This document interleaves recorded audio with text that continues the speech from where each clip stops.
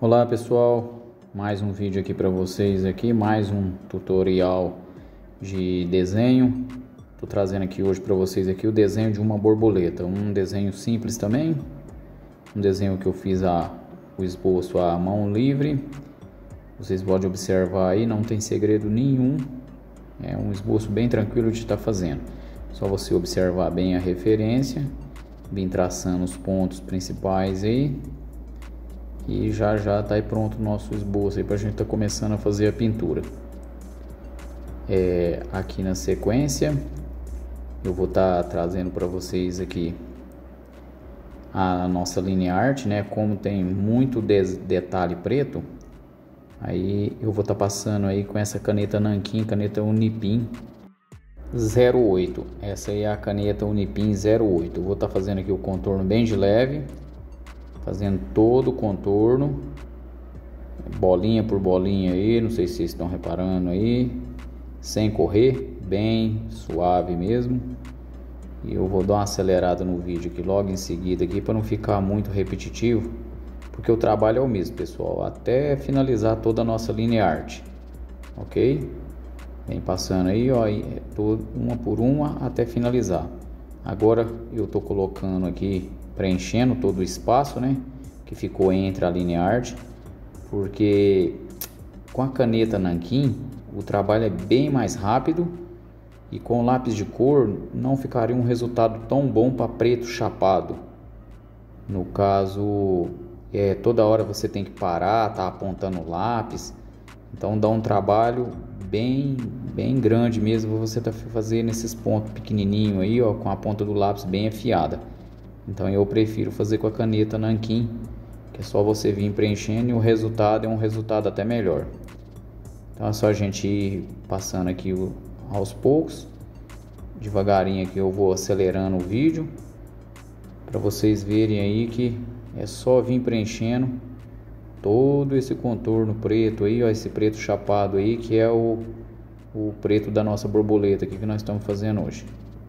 OK? Já já vou estar tá finalizando aí, a gente já vai passar para a parte de pintura com o lápis de cor. Já peço a vocês aí, pessoal, que deixem o like aí, no, no vídeo para ajudar a desenvoltura do canal. Se não for inscrito, se inscreva no canal aí, compartilhe o vídeo com as pessoas que gostam de arte, né, que querem aprender a fazer os desenhos coloridos, que aqui no meu canal aqui tem várias dicas é, legais a respeito de pintura. Aqui é uma borracha limpa tipo, eu gosto de espremer ela, né, para ela ficar assim parecendo um rolinho e aos poucos eu vou esfregando ela em todo o desenho para estar tá tirando o excesso de grafite, o que ficou da nossa linha arte para na hora que está fazendo a pintura, para gente não ter problema de mistura de grafite com lápis de cor. Já vamos começar aqui a pintura, o laranja bem devagarinho, a gente vai dar uma camada de leve para estar tá fazendo o degradê. Aos pouquinhos você vai dando aí uma segunda camada, a necessidade de apertar, você aperta um pouquinho de acordo com a referência que você tem. Aqui no caso aqui, ó, bem devagarinho o vermelho também, eu vou estar tá misturando aí para ficar um vermelho mais alaranjado, para não ficar aquele vermelhão chapado. E fica uma cor bem homogênea, se você misturar aí direitinho. Esses lápis que eu estou usando aí são os, os lápis da Multicolor, a caixinha com 12 unidades. Esse lápis é um lápis produzido também pela Faber-Castell. É, no meu ponto de vista, não tem muita diferença do lápis Faber-Castell da Ecolapse. Praticamente, para mim, é a mesma coisa, não tem muita diferença não. É um lápis barato e um lápis muito bom de você estar tá usando ele para estar tá fazendo esse trabalho. Esse papel que eu estou usando aí, pessoal, é o é, Profissional 30% de algodão de 200 gramas. Aqui agora a gente já vai passar para essa parte amarela aí. Eu vou sempre estar tá começando a pintura de uma forma bem leve, dando a primeira camada e vou acelerar o vídeo para não ficar muito longo, muito extenso. Ok? Então, só você ir preenchendo todo o espaço e já vamos dando vida à nossa borboleta. Aqui a gente vai fazer um degradezinho Eu tô colocando aqui só um pouquinho de laranja, né, para estar tá misturando esse amarelo para dar uma, um efeitozinho de sombra.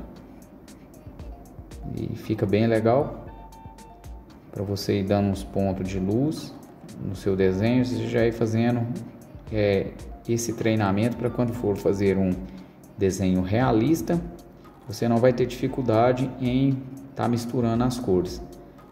Como aqui é só o amarelo bem chapado mesmo, já vem passando a segunda camada apertando, apertando ele em cima dessa parte laranja aqui, para estar tá inserando mesmo o papel e para estar tá homogeneizando essa pintura, para ela estar tá ficando, tirando aqueles pontinhos do papel que fica, né? É, aqueles pontinhos brancos, né, da textura do papel, para tá uma pintura mais lisa, que eu estou reforçando novamente com laranja, para tá dando esse efeito aí de, de degradê, de sombra e de luz. Se você ver a necessidade, de acordo com a sua referência, você passa duas, três ou quatro camadas até você chegar naquela parte homogeneizada do jeito que você quis. Aqui mesma coisa, pessoal, vou estar tá acelerando o vídeo, vou só estar tá preenchendo com amarelo. Onde eu estou deixando aí essa parte a mais alta aí vai ter uma sombra aí que vai ser o laranja. Vou estar tá passando ele bem de leve e na sequência vou estar passando uma segunda camada. Essa primeira camada bem levezinha mesmo, para não estar tá marcando o papel. Sempre voltando aí com, com o lápis com a ponta bem afiadinha. Eu gosto de usar o apontador de manivela. Já falei em outros vídeos, deixo uma ponta bem mais fininha, uma ponta bem mais comprida e é mais fácil de da gente estar tá fazendo a pintura.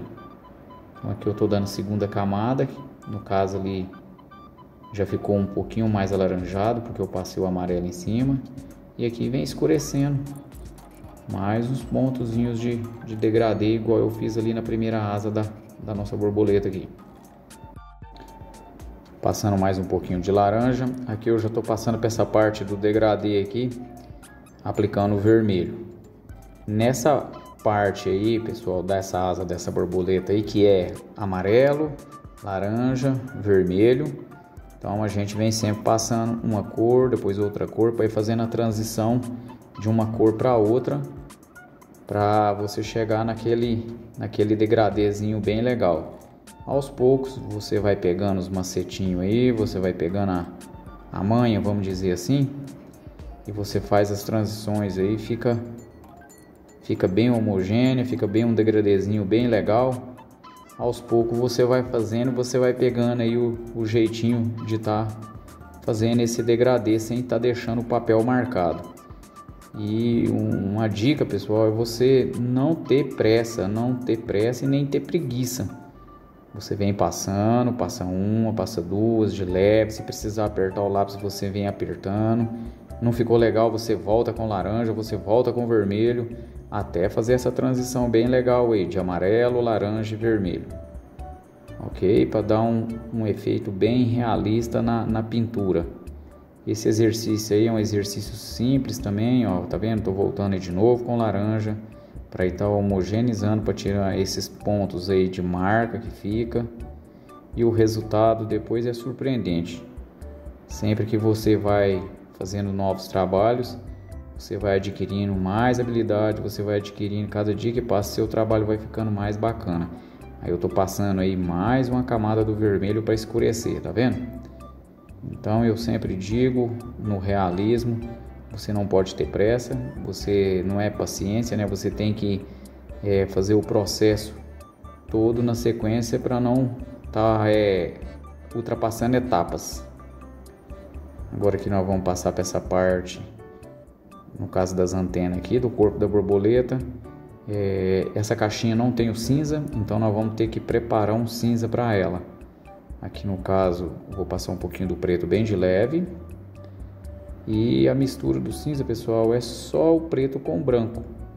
Vocês vão ver que não tem mais segredo nenhum o preto com branco para estar tá dando esse efeito de, de cinza. No caso aí um, uns pontinhos de luz, ó.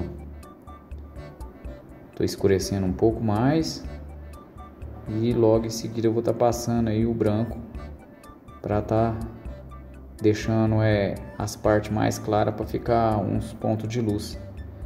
Esse branco meu aí não tem na caixinha, essa caixinha de 12 cores não tem o branco. Esse branco aí é um branco da Faber-Castell. Bom, outra caixinha de 72 cores que eu tenho.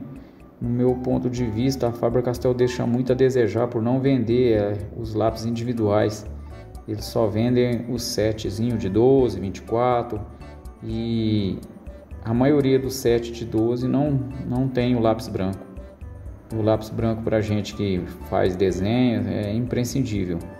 Você não tem como você trabalhar no realismo sem ter o, o branco para estar tá ajudando a misturar as cores, principalmente as cores mais claras. E é isso aí, pessoal. Espero que vocês tenham gostado do vídeo.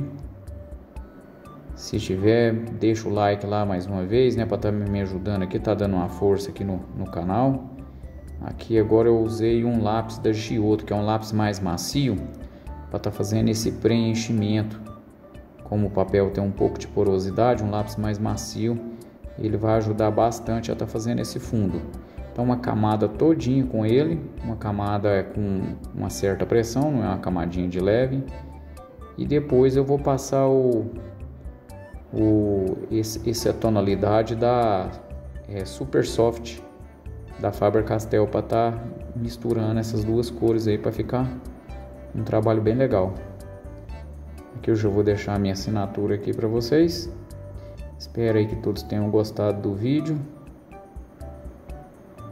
E treine ele aí em casa. Eu tenho certeza que todos vocês vão conseguir fazer.